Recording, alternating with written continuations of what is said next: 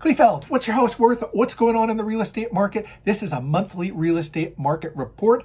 Today is actually Tuesday, March the 8th, 2022. This report should take about two minutes or less, and the report is actually for February 2022. What's on the market according to MLS? That's where all the stats come. Residential detached homes showing 11 homes on the market, five currently active. Of the 11, nine are new builds. Um, currently, there are two pending sale, and in the month of February, four sold.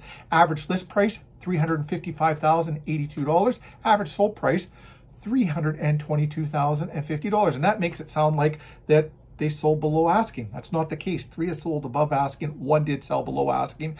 Um, basically, it's just because the other new builds are throwing off what the average list price is. Average square footage is 1174. If you're wondering what the average square list price is, just reach out so we can show you that. Um, also, days on the market showing 51. When you have a lot of new builds, that'll also throw off what the average days on the market because the actual uh, list to percentage ratio was at 102%, meaning that the houses were selling on average of 2% over list price.